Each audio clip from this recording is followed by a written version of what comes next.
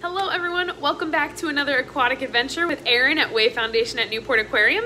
We are hanging out with some very interesting fish today and I'm gonna call your attention to some specific fish.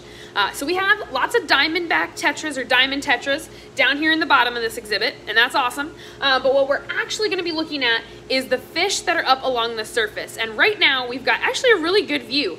As you look at those fish, I want you to look for if you can see a part of their body that is outside of the water? Is there any part of their body that looks like it's creeping up above the water? For a shark, sometimes they swim and that dorsal fin is up above the water and that is sometimes, you know, kind of an image that we have for fear. For these animals, they have a different part of their body that sticks up above the water.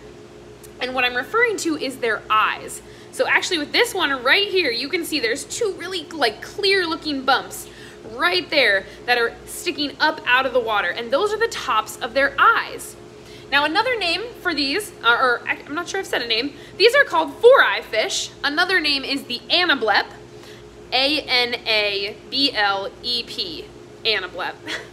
And anableps, they can be called the four-eye fish because it looks like when I look at them, I can see four different eyes. You can see two up above the water and two below. That's only because of the optical illusion of water. They do actually only have two eyes, two eyes. They actually have each pupil split though. So they do have part of their pupil that is above the water and can see out there in the air, and they have part of their pupil that's below the water and they're seeing in the water. And that is because they are a predator, and that means that the food they're eating is both below the water and above the water. So let's think, what would a fish want to eat that's in the water and out of the water?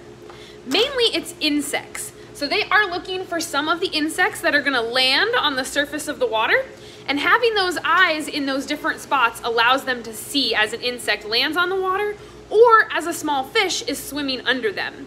So for the four-eye fish, these split eyes make them much better predators in the lagoons and the marshes of South America where they can be found.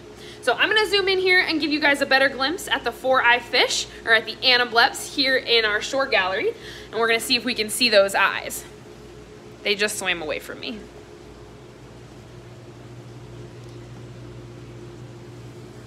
So you can see eyes up above.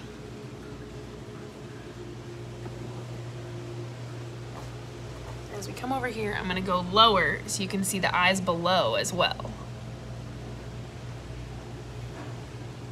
They're a little skittish.